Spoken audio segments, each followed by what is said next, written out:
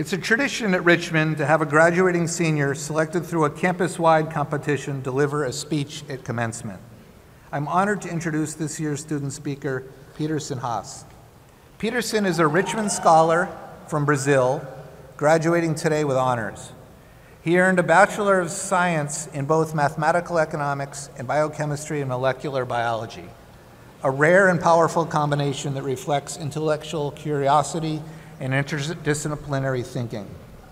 Over the past four years, Peterson has conducted research at UCLA, the University of Chicago, the Brookings Institution, and most recently, the Federal Reserve, but I'm sorry, in Chicago. where his work will where, where his work with the macroeconomics team inspired his honors thesis under the supervision of Dr. Dean Croushore. A committed leader, Peterson co founded the Brazilian Institute of Young Scientists to expand access to research opportunities for students across Brazil and served as an active member of the Brazilian Student Association, raising funds at conferences to support scholarships for study in the U.S.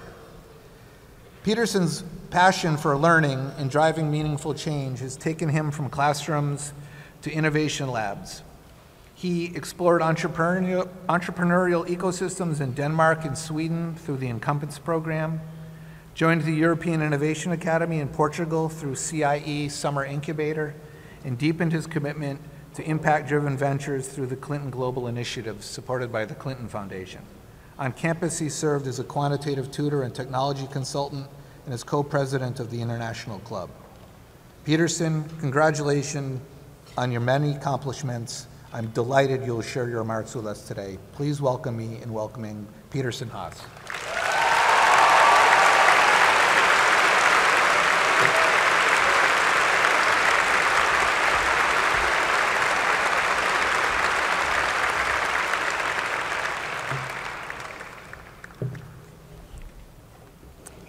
Thank you, President Hallock, and greetings families, faculty, staff, guests. And with great excitement, greetings to the class of 2025. We did it.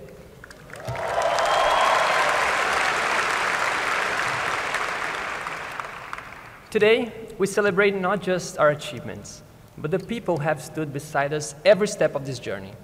And on this special occasion, Happy Mother's Day to all the moms and to all the supporters and loved ones who have carried us to this moment.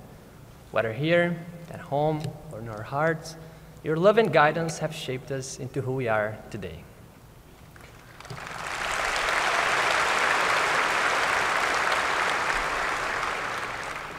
These days, it feels like we only truly exist in the big moments. It's as if life only begins just after the finish line. And for me, it was no different. Since I was 10, my dream was to be exactly here, earning my college degree in the US.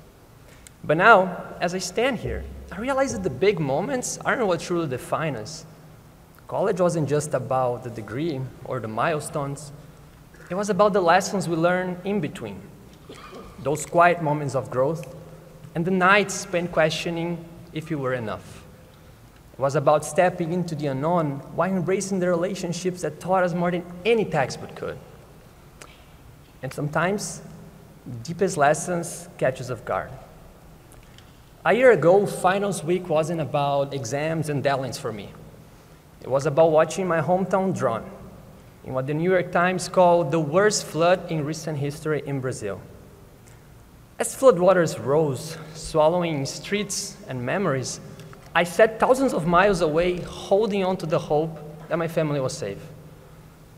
But what stayed with me wasn't the destruction itself. It was the small yet powerful acts of compassion. Neighbors carried each other through waist deep water, and strangers opened their doors to those who lost everything. That week, I learned, I learned that resilience is not about never falling, it's about who we become in the face of it. It's knowing that no matter how strong the current, we rise by holding on to each other. The biggest lesson I've learned in these four years is that there's no such thing as too late in life. At UR, I discovered that growth is not a chapter you graduate from. It's something you return to over and over again. In this community, I met people who showed me that there's not a single path to a meaningful life, and no deadline for becoming who you are meant to be. We all continue to grow and change until we say goodbye. We don't need to follow the classic order of getting married, buying a house, and having kids by 30. The world has changed so much. And let's be real, in this economy, we can't even afford it. There's absolutely nothing wrong with taking time for yourself because how can you offer your best self if you don't know who you are? It's easy to feel like you're running out of time, like we need to hit every milestone on schedule. When we were young, we couldn't wait to grow up. But now, as we get older, we should could turn back time and hold on just a little longer. We chase, we strive, and we convince ourselves that just a little more will finally make us whole. The real truth is, no one has it all, but everyone has enough already. Life is not a race, and you're not falling behind. When the road ahead feels impossibly long, look back at how far you've come. Meaning is not found in achievements, it's found by devoting yourself to love, the kind you pour into the people, the community you build, the passion that sets your soul on fire. Devote yourself to something bigger than you, something that gives you purpose, that makes you feel at home. And maybe, just maybe, you realize that home is not always a place. And for me, this is what success truly means. Success is not about collecting accomplishments like trophies. It's about living a life that feels full, even when you're missing pieces. It's about embracing where you are and appreciating the simplest moments. It's when someone remembers the smallest details about you. When you smile in the middle of a kiss. Or when your little brother draws a picture of you and then you say, oh, look, it's a spider. In the end, it's all those little moments that mean the most. It's the way you let the ordinary become extraordinary, simply because you chose to see it that way. And with that in mind, as my parents stepped into the unknown, becoming the first in their families to leave the countryside for the city, at this moment today, I take my own step, becoming the first in my family to earn a college degree.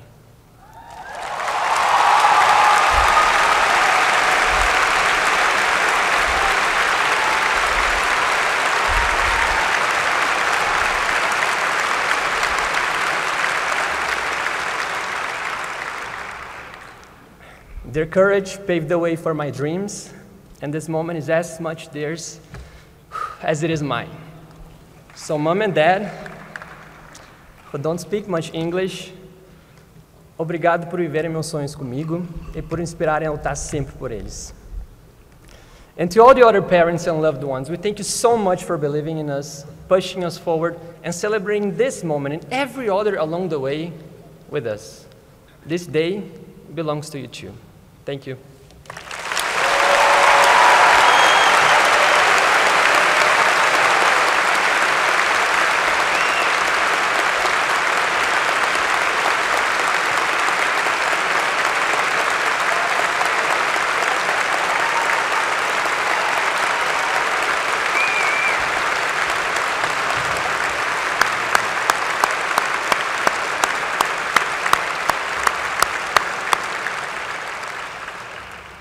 Thank you so much, Peterson. Congratulations.